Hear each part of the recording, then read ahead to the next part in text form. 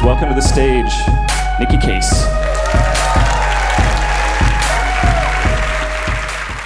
So here's a story. I was born in Singapore. Uh, it's this Southeast Asian island, it's somewhere. Uh, and bubblegum is illegal there for some reason.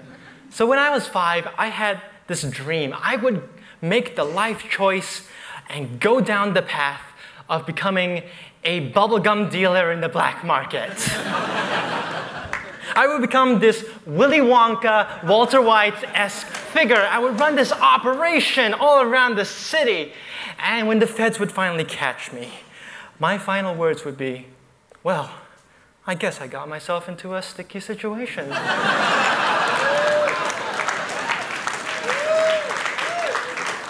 that did not happen.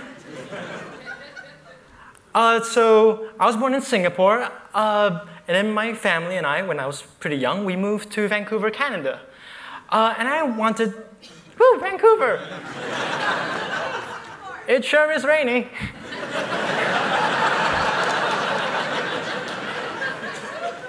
and I wanted to make my parents proud, you know, and being Asian parents, I was thinking, should I be a doctor or a lawyer? No, I decided at the age of 10 I was going to be a doctor and a lawyer. I would practice all the medicine and then sue myself for malpractice.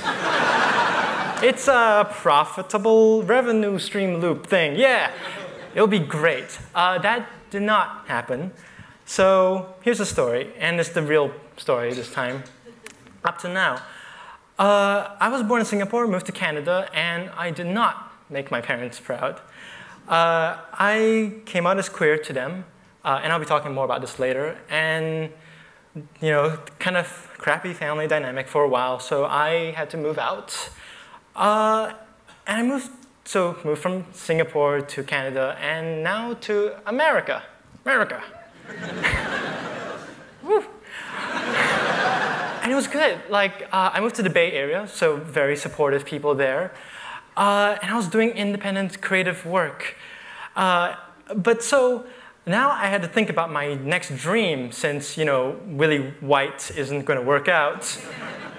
Willie White. Um, so my life goal at the beginning of 2014 was to become a hit independent game developer. I'd make this magnum opus. I'd make the next super meat craft. It, it, it would be great. It'd be great. Uh, yeah, not as cool as a bubblegum kingpin, but hey, I'll take it. But, uh, you, you, know, is anyone here an independent game developer? You know it's pretty stressful. Uh, and also, not just the present stress, but also anxiety about the future. Because if life is a whole infinite branching path where in one I can be a game developer, and one I'm a doctor and a lawyer, then uh, if I just make one wrong choice, then everything falls apart. I'm off the path forever. But so there's the present anxiety, future anxiety, and also the past anxiety because what if I've already made that mistake? What if I shouldn't have had come out and you know still stayed in school, what if it was already too late for me? What if I was, you know, already broken? So that's chaos. Life is a chaotic system, and I'm going to contribute to the long, wonderful legacy of butchering science for the sake of some things, I guess. So chaos theory, uh, a chaotic system is defined as a system where small changes in input can result in large changes in output, uh, sensitivity to initial conditions. You know, the butterfly effect. Uh, a butterfly flapping its wings can cause velociraptors to escape from their pen. So today I'm going to butcher chaos theory to ask the question I was asking myself uh, at the start of 2014. How can I get rid of life's chaos? Yeah. Uh, first, let me get some water because I am.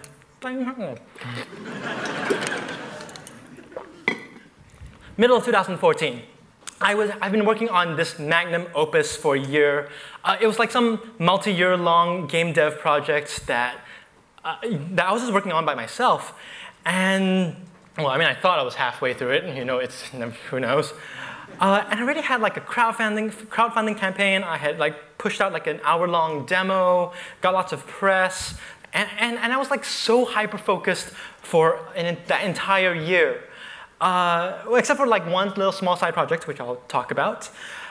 Um, it was this interactive explainer, which taught you the code and math behind how to make the lighting effect that was in my game. Spoopy.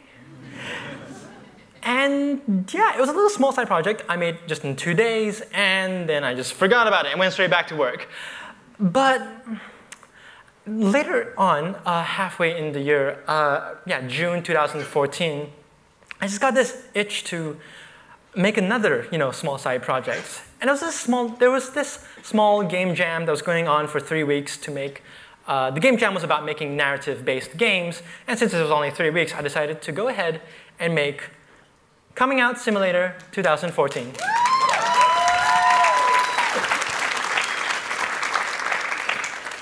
The title is a horribly bad inside joke about Surgeon Simulator and Goat Simulator. Did not age well. Anyway, so yeah, it's an interactive story about, uh, it's a semi fictionalized account of my coming out as bisexual to my Asian parents, which I have alluded to before that um, all of the shit hit all of the fans. yeah, it was a half true story about half truths.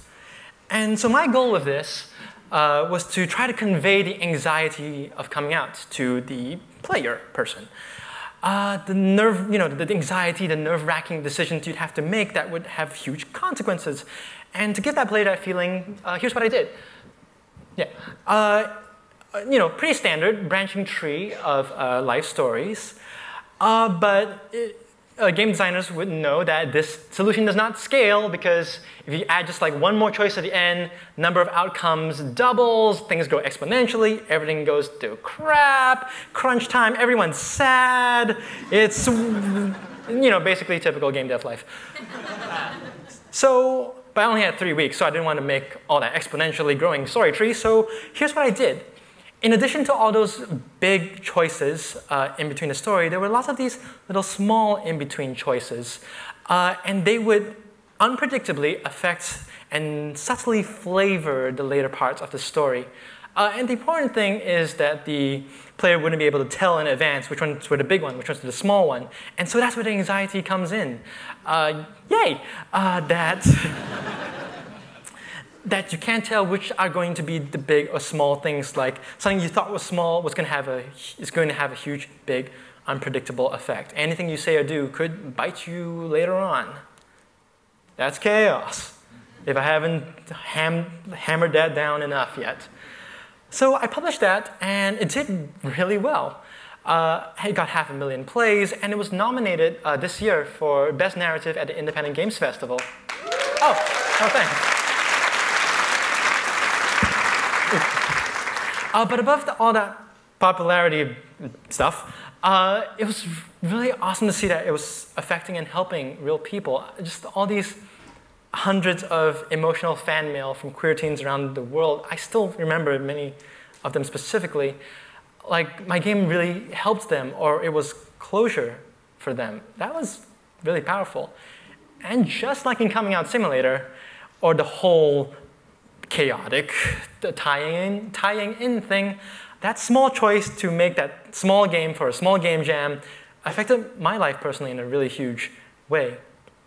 Because prior to making Coming Out Simulator, I'd only known you know, the story that actually happened to me. But to make, in making that interactive uh, version with all the different possible outcomes, I had to like think about and write about every single thing that could have happened but didn't. And every ending had its own pros and cons. Like, if I didn't come out, I would have had a better relationship with my family, and, and you know, and I would have had a better relationship with my brother. But at the same time, I wouldn't have been really honest to myself, and also would have had the drive to have made my own life otherwise. I, I don't really, I can't make that decision. That's not better or worse, it's just different. And seeing all these different possibilities was kind of therapeutic. And as a teaser for the end of this talk, there's going to be another, uh, I'll, give you the extra ending of what happened after a coming out simulator with my family. Teaser. So, but no time to think about that because another unexpected change was about to happen. Uh, from the small choice I made earlier, remember that interactive explainer I just talked about a few minutes ago? Remember that? Remember a few minutes ago? Those were good times.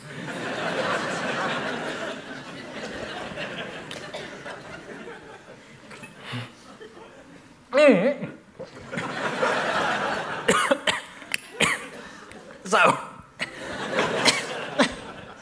Yay, chaos. Okay, let me skip back. All right.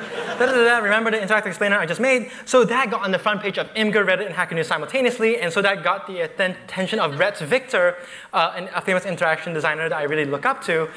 Therefore, thank you. Therefore, uh, he invited me to some workshop on education where I met Vihart, uh, pop, another popular uh, educational YouTuber I also look up to. Therefore, she, uh, we talked a little bit and she wanted to collaborate with me on a project. Therefore, we made this. Uh, an interact, uh, I guess there's one more slide. we made this.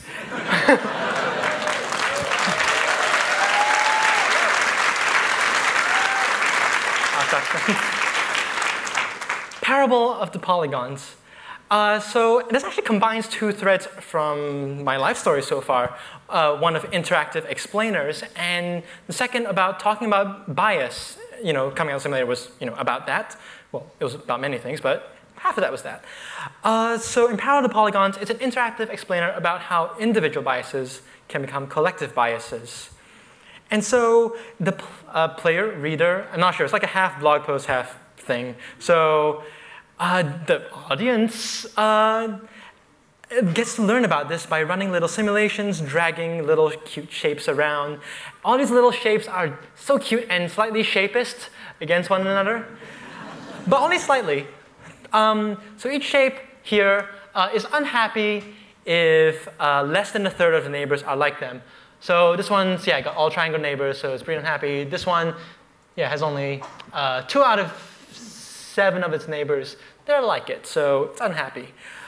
Uh, but so this means you know less than a third, so each shape will be okay being in the minority. But small biases over time accumulate into larger biases.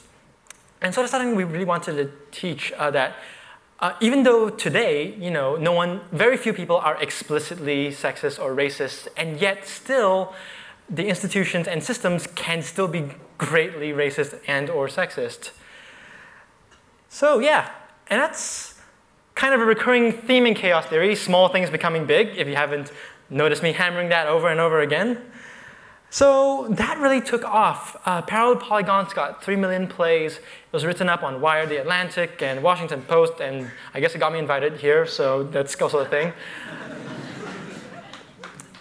And now this interactive explainer thing was becoming a whole separate thread of my life.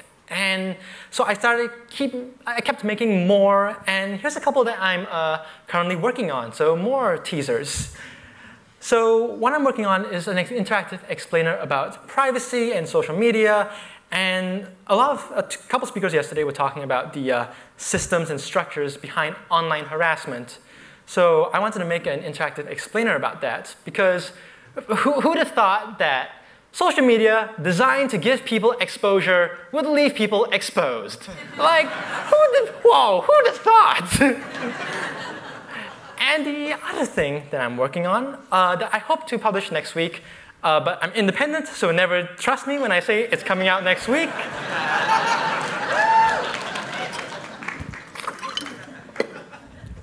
Is about this about neurons, and, and particularly neurons and anxiety, and uh, showing the two simple rules of how neurons learn and unlearn. Uh, it's called Hebbian and anti-Hebbian learning, if anyone cares. Um, and also talking about exposure therapy, conditioning, and cognitive behavior therapy, and hopefully uh, this letting people see that there's really a system in their brain will make them feel less, I guess helpless to their own brains, and hopefully it can help some people's. So I, I, was like kept on researching all this, all these systems and everything.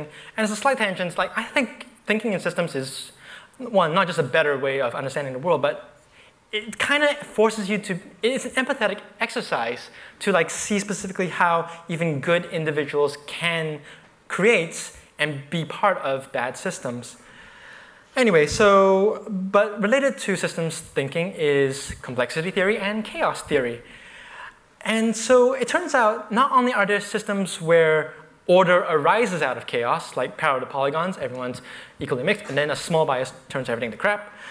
Uh, there are systems that thrive on chaos, like evolution. It's about random mutation and non-random selection. If you take away the random mutation, everything goes extinct.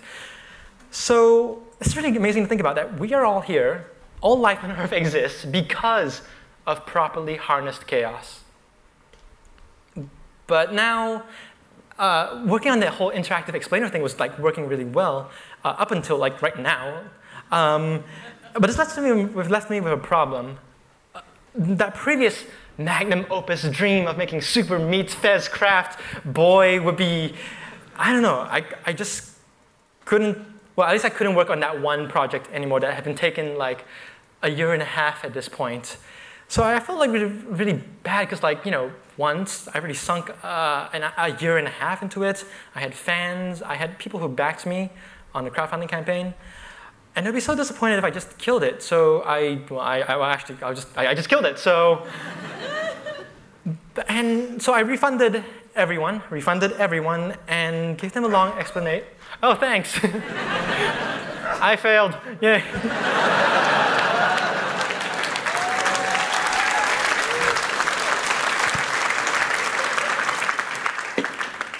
I have an incentive for you to clap longer because I can actually drink. So I refunded everyone, gave them a long explanation of why I had to go, giving them a little bit of behind the scenes of game design thinking and uh, something about interactive expl explainers.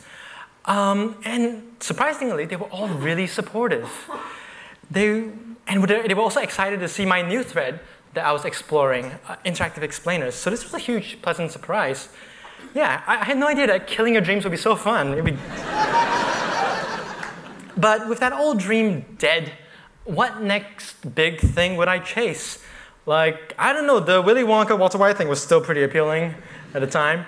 Uh, but, and, and I could chase the whole interactive education dream, whatever that would look like, but I'd be in the exact same point as I was before present, future, and past anxiety. And I know life's chaos would knock me off the path or help or make me find a better path. And I had already invested all that and that, and then I have to quit again and it'd be sad. So I was kind of floating for a while. Like, not, I wasn't unproductive and I wasn't, well, okay, I was anxious, but uh, yeah, I was really uneasy with just not having a goal in life. But about last month, uh, after I learned about chaos theory on Wikipedia, and so now I'm an expert, all the pieces just started coming together and it started getting me to think deeper and more carefully about life's chaos. So, revisiting that question, how can I get rid of life's chaos? And right now, I think the answer is Dawn apostrophe T. Instead, we should ask how not can we not avoid chaos, but adapt to chaos. And so First, adapting to future chaos. Because if you just have like one specific dream that's like really far out, your magnum opus, you get tunnel vision and you don't see the other opportunities that are available to you, some of which you might like even more. So let go of your defined life path.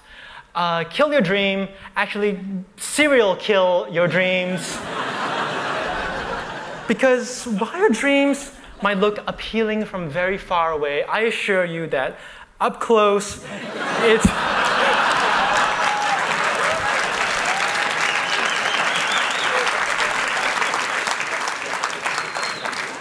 It's really not the case. This is my wallpaper now. Anyway. and in this present chaos.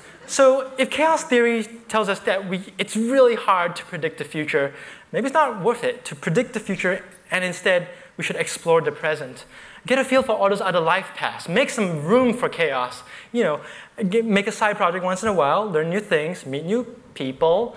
Uh, prepare a talk at 2 a.m. last morning, last night, this morning. Yeah. Uh, and don't get too hung up on sticking to the path. So experiment, improvise, um, improvise. Because.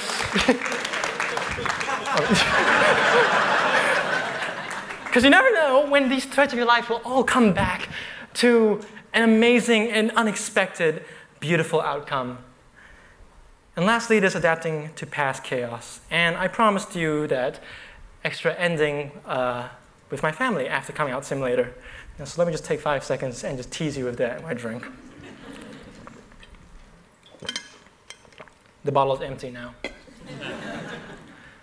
so it actually happened a couple months ago, and it actually happened here. Well, not here, but Port, uh, actually uh, Portland.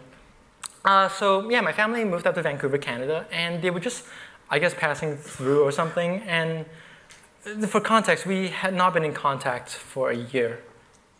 And I don't know why, I, I still don't know why, but I was an emotionally good enough place at the time to reach out to them, and we hung out it wasn't, you know, a tearful reunion or anything, but I think it was good, like closure. And it was kind of a bittersweet closure. Like, so they saw that I had adapted. Uh, and it was also good for me to see that they and my brother uh, had adapted as well, because when I left, it was kind of a wake up call for them to be more accepting of each other in that family. They were a better family, after I left than, uh, than they were when I was there. That's good. Oh yeah, as for what this is, uh, we hung out at the Portland Art Museum that's somewhere wherever West is. And they were, they were showing off, you know, uh, ancient Asian art, including pottery. And so there's something really awesome that uh, I learned about Japanese pottery. This is called kintsugi. It is the Japanese art of mending stuff you fucked up and broke. Um, so, you know, with a normal tea bowl, normally you just throw away the, uh, you know, after it breaks, you throw it away. But not with kintsugi. Uh, you mend it, and, but you don't hide the scar. It's illuminated with gold. At the same time, its damage does not define it. It's still a tea bowl. It's not define it, but it is a part of it. So if chaos strikes in your past and things fall apart, know that broken pieces can be put back together, probably not in the same way, and you won't be the same afterwards, but that's, that's, that's okay. It's only a part of you, but it does not define you. Damage does not define you. And there were many awesome talks uh, earlier in XOXO about uh, people who have experienced trauma and how they moved forward and built something beautiful out of those broken pieces. I just want to like quickly state that I'm not romanticizing trauma. I'm not like, to be a true artist, you have to suffer for your art. Because no, no. but putting back the pieces, but I, what I am saying is that you can put the pieces back together, that you can adapt to chaos. Because on this infinitely branching tree of life, there's no way to go back, but there's every way to go forward. Thank you.